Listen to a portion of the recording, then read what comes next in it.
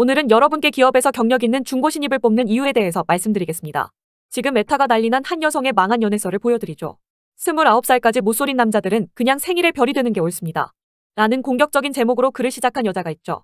20대 후반의 나이이고 날 책임져줄 남자가 없어서 심신이 지쳐있을 무렵 학부 신입생부터 9년간 나를 짝사랑해준 남자가 박사를 끝내고 postdoc 붙은 상황에서 고백과 청혼을 했습니다. 앞자리가 3으로 바뀌면서 나이 드는 것도 두렵고 긴 시간 동안 짝사랑할 만큼 나만 좋아하는 사람이면 안정감을 찾을 수 있을 거라 생각했죠. postdoc 끝나고 지방대 교수 임용까지 스무스하게 결정되어서 교수 사모님으로 인생 꿀빨 허세도 자극되더라고요.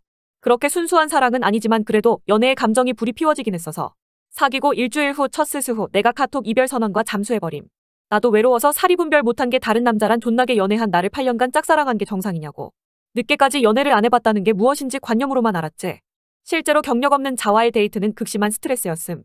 날 챙겨주기 위해서 자신이 먹지도 못하는 음식점을 예약해서 밥 먹는 내내 불편하게 하고 맛집도 가본 적 없는지 다양한 돈가스만 소개받아서 돈가스만 먹었고 자기 엄마 소개와 신혼집 위치 이야기를 하는데 불편했음.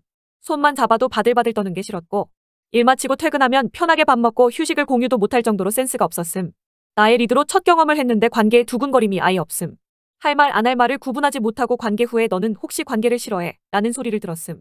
내가 그 친구 체력 보고 어는 운동해야겠다라고 말했는데 나는 운동은 절대 안 할 거고 운동하면 아파서 안 된다라는 소리 들었음. 결론적으로 사랑하는 마음으로 하나하나 설명하고 알려주는 게 너무 귀찮아서 모쏠남이랑은 연애 못하겠다. 라고 말하는 여성의 글이 지금 난리가 났죠. 그런데 잘 생각해보시면 이건 모쏠남의 잘못이 아니라는 생각이 들고 있습니다.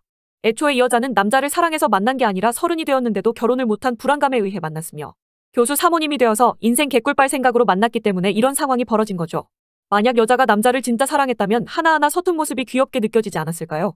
저는 이 상황과 완벽하게 반대가 되는 상황을 보여드리겠습니다. 만약 여자가 모쏠남을 좋아하면 어떻게 되는지 보여드리죠.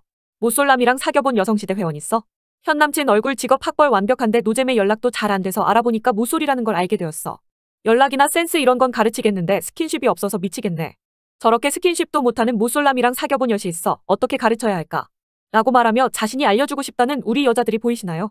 여자가 먼저 나서서 조건이 너무 좋아서 포기가 안 된다. 내가 저 남자랑 사귀려고 세 달 동안 만나달라고 계속 부탁하고 또 부탁했어. 라는 말을 하면서 이 여자는 진지하게 모쏠남을 변화시키려고 노력하고 있죠. 처음 모쏠남과 상황은 너무 똑같지만 다른 건 오직 하나. 여자가 남자를 진정으로 좋아하냐 아니냐의 차이죠. 한 여자는 좋아하지도 않았는데 사귀어서 모쏠남을 욕하고 있었고 한 여자는 남자를 너무 좋아해서 자신이 이렇게 바꿔주고 싶다고 고민하고 있죠. 연애는 좋아하고 사랑해야 시작할 수 있는 겁니다. 자신이 좋아하지도 않는 남자와 만나놓고 모쏠이면 별이 되어야 한다 말하는 건 너무 싸가지가 없는 게 아닐까요? 많은 사람과 만나고 다녔다는 건 자랑이 아닙니다. 부디 상대방을 존중할 줄 아는 세상이 오길 바라겠습니다. 전국에 계신 모쏠남 모쏠녀들 화이팅입니다.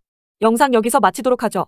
여고여대 간호사 루트를 탔고 3교대를 하며 영상을 만들었던 은희는 이만 물러가겠습니다. 오늘의 한 줄 요약. 모쏠이 되냐, 죄냐고.